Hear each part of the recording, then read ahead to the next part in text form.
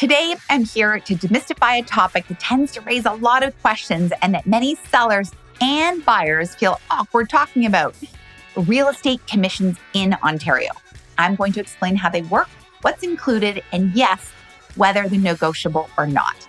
My name is Kori Marin. I'm a real estate broker and co founder of Fox Marin Associates, a boutique real estate brokerage located in downtown Toronto.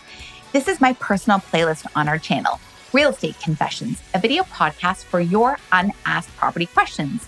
Here, I will answer all the questions you were afraid to ask just one episode at a time. So, commissions. Let's dive in. First things first, how much commission do we charge to sell a property? Well, there's not a one size fits all answer as it depends on various factors. In Toronto, a typical 5% commission on the final sale price of a property is common, with 2.5% going to the listing agent and 2.5% going to the buyer's agent. Plus, there are applicable HST taxes on these commissions because it's deemed a service. Don't forget, these commissions come out of the proceeds of the sale. They are not paid upfront. There are three ways to structure a commission payment a percentage of the sale price, a fixed dollar amount, or a combination of the two. It's really important to understand what your listing agent is offering in terms of value, experience, and services before deciding on the fee structure. As a seller, you want to get a return for all of the commissions paid. So let's look at what could be included in your commissions. At Fox Marin, we offer two commission packages. Our package A is a full service package that includes everything property, staging, styling, professional photography, video, floor plans, international, domestic advertising, social syndication, and much, much more. On the other hand, package B is our a la carte services, and it's a reduced commission option with fewer services included. This is more typical when a property is tenanted, vacant, or sold as is. For example, a teardown or an old estate.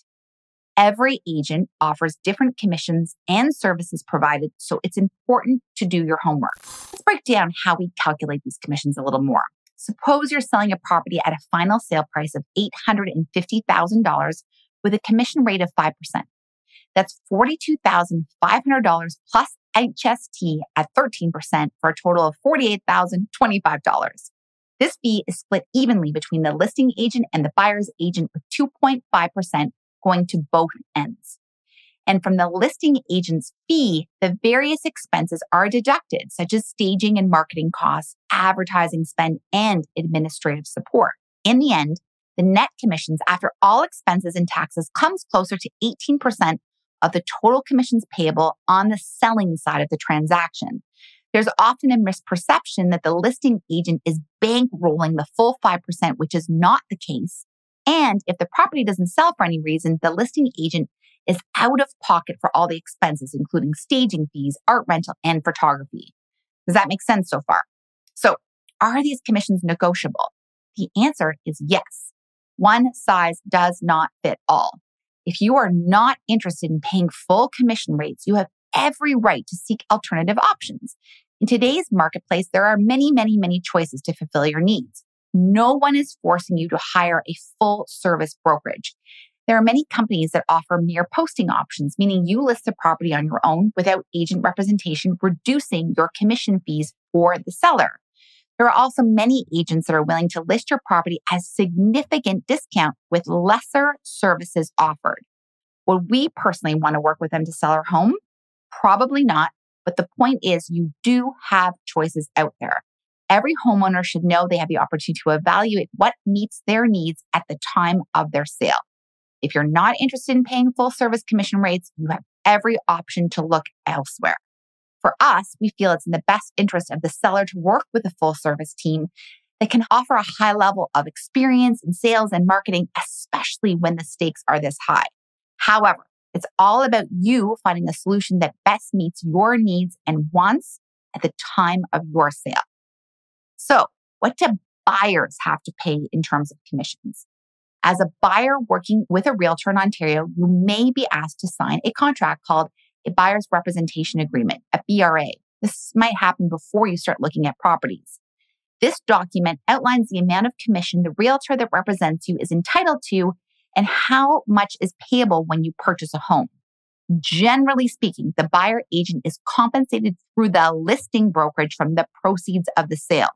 So the purchaser is not responsible for any commissions or associated fees. However, there are exceptions to this rule. So as a buyer, you should review the compensation with your realtor in detail before signing any buyer's representation agreement.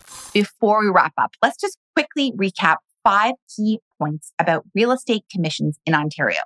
One, the seller pays real estate commissions at closing. Real estate commissions are 100% negotiable. Three, various real estate services will be included and not included in your commissions. So make sure you understand the who, the what, and the why upfront. Four, the commission paid is shared between the agent representing the seller and the agent representing the buyer. And five, always, always, always understand the commissions you've agreed to pay and what services are included before signing your listing agreement or a buyer representation agreement and never be afraid to ask. So there you have it. A comprehensive but simple breakdown of real estate commissions, how they work, and how we structure them here at Fox Marin. It's essential to know your options and to work with a brokerage or realtor that best aligns with what you're willing to pay for services rendered. If you have additional questions about commission rates, negotiating commissions, or the pros and cons of hiring a full service brokerage versus selling a property on your own, you know where to find us. I'm here to help you navigate through your real estate queries and make this journey as seamless as possible answer the questions you were too afraid to ask. If you found this video helpful, make sure to give it a thumbs up, share it with your friends, and subscribe to our channel for more real estate tips and insights. Remember, I'm here to help you make the best real estate decisions. So until next time, take care, and I'll catch you on the next episode.